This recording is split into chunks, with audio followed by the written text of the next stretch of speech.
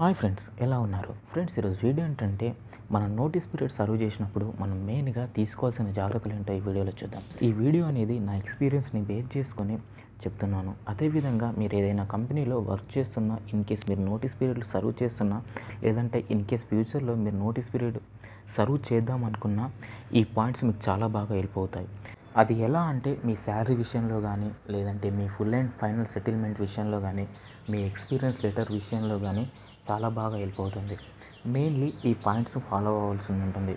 Number one మీ time sheet. Time షీట్ని మీరు రెగ్యులర్గా ఫిల్ చేస్తుండాలి. మీరు బిలేబుల్ అయినా కాకున్నా. ఇన్ కేస్ మీరు ప్రాజెక్ట్లో ఉన్నా లేదంటే బెంచ్ మీద ఉన్నా ఖచ్చితంగా టైం షీట్ ఫిల్ చేయాలి. టైం షీట్ ఫిల్ చేయకపోతే మీ శాలరీ అనేది మీరు లూజ్ అవ్వాల్సింది ఉంటుంది. టైం షీట్ అనేది మ్యాండేటరీ థింగ్ ఇన్ కేస్ మీకు టైం షీట్ ఓపెన్ కాకున్నా లేదంటే ఏమైనా ఇష్యూస్ ఉన్నా వెంటనే మీ మేనేజర్కి కానీ మీ టీఎల్కి కానీ లేదంటే జిఎస్టీ కానీ రేజ్ చేయడం కానీ ఈ విషయంలో మాత్రం చాలా హై అలర్ట్గా ఉండాలి. ఎందుకంటే మీ శాలరీ కాబట్టి మీరు లూజ్ అయ్యే ఛాన్స్ ఉంటుంది. So time sheet is mandatory second point ఏంటంటే మనం ప్రాజెక్ట్లో ఉన్నామా లేదా చూసుకోవాలి. అది ఎలా అంటే నా కేసు వచ్చేసరికి నేను ఒక ప్రాజెక్ట్లో two and half years work చేసిన తర్వాత సడన్గా నన్ను ప్రాజెక్ట్ మూవ్ చేశారు. ఎందుకంటే మేబీ ఆ ప్రాజెక్ట్ అయిపోయి ఉండొచ్చు లేదంటే మన పర్ఫార్మెన్స్ బాగాలేకుండొచ్చు. ఇలా చాలా సినారీస్ ఉంటాయి. ఏదో విషయంతో నన్ను ఒక ప్రాజెక్ట్ నుండి ఇంకో ప్రాజెక్ట్కి మూవ్ చేశారు. ఆ విషయంలోనే నేను ఇంకో కంపెనీకి ట్రై చేశాను ఆ నోటీస్ పీరియడ్లో ఉన్నప్పుడు. సో నాకు ఇంకో కంపెనీలో జాబ్ రావడం వల్ల సో నేను పాత ప్రాజెక్ట్ నుంచి కొత్త ప్రాజెక్ట్కి వచ్చాను. అదే విషయంలో నేను ఇమీడియట్ డిసిగ్నేషన్ అడిగాను వాళ్ళను.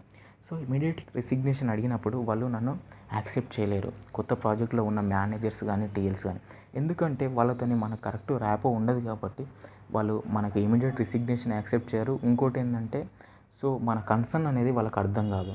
ఇన్ కేస్ మనము బైఅవుట్ ఆప్షన్ చేద్దామన్నా కానీ వాళ్ళు మేబీ యాక్సెప్ట్ చేయొచ్చు యాక్సెప్ట్ చేయకపోవచ్చు. ఎందుకంటే కరెక్ట్గా ప్రాజెక్ట్కు సరిపోయేంత మెంబర్స్ని మాత్రమే తీసుకుంటారు. కొత్త వాళ్ళని మళ్ళీ తీసుకోవాలంటే మళ్ళీ రిక్రూట్ చేయడము లేదంటే పాత ప్రాజెక్టుల నుంచి లాక్క రావడము జరుగుతుంటుంది. సో నా కేసుకు వచ్చేసరికి ఎవరు నన్ను రిలీవ్ చేయలేరు అన్నట్టు ప్రాజెక్ట్ నుండి. సో ఆ టైంలో నేను బైఅవుట్ కానీ అట్లాంటివి అడిగినాను. సో వాళ్ళు యాక్సెప్ట్ చేయకపోవడం జరిగింది.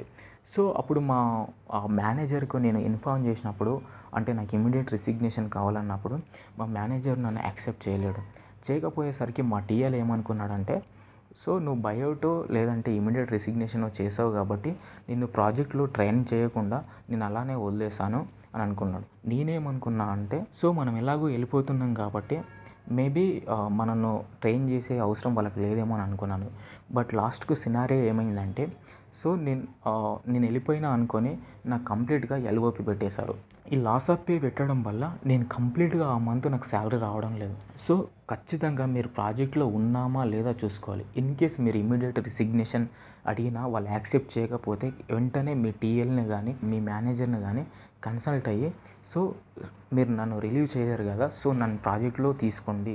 లేదంటే నేను ప్రాజెక్ట్లో ఎక్కడ ఉన్నాను ఏంది అనేది ఖచ్చితంగా అడగాలి. థర్డ్ విషయం ఏంటంటే మన పే స్లిప్స్ కానీ ఫామ్ సిక్స్టీన్ కానీ మన నోటీస్ పీరియడ్ సర్వ్ చేసినప్పుడే డౌన్లోడ్ చేసుకొని పెట్టుకుంటే బెటర్. ఎందుకంటే మన ఫ్యూచర్ ఎంప్లాయ్ అడిగే ఛాన్సెస్ ఉంటుంది.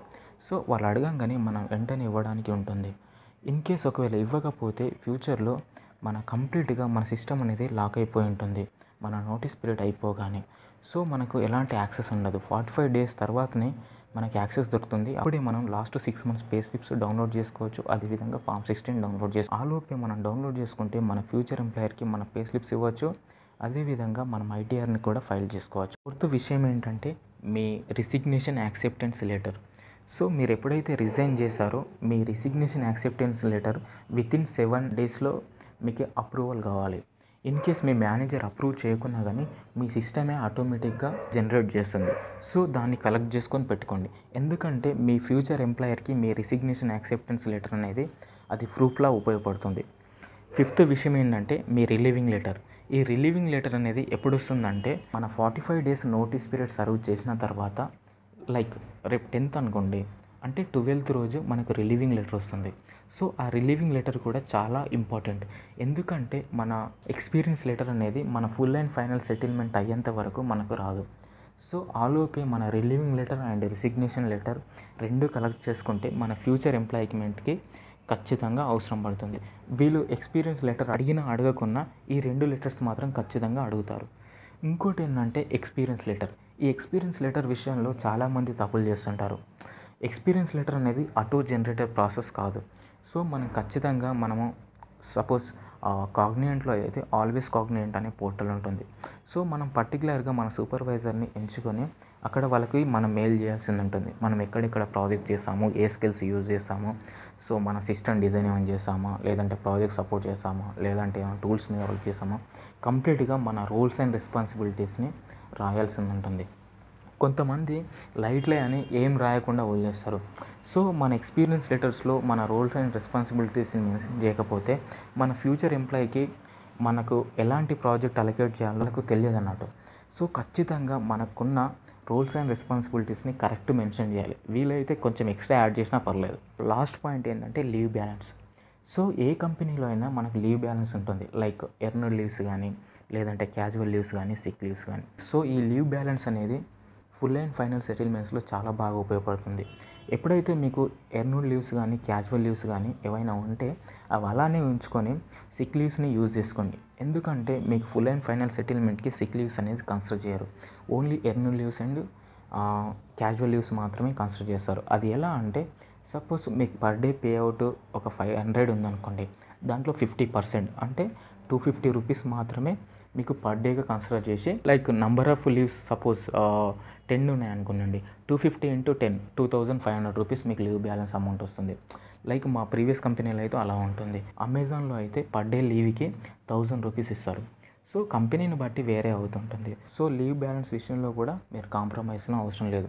ఫైనల్లీ నేను చెప్పేది ఏంటంటే మీరు ఆర్గనైజేషన్లో ఉన్నన్ని రోజులు ఖచ్చితంగా టైం షీట్ ఫిల్ చేయాలి. అది బిలేబుల్ అయినా నాన్ బిలేబుల్ అయినా మీరు ప్రాజెక్ట్లో ఉన్నా లేకున్నా.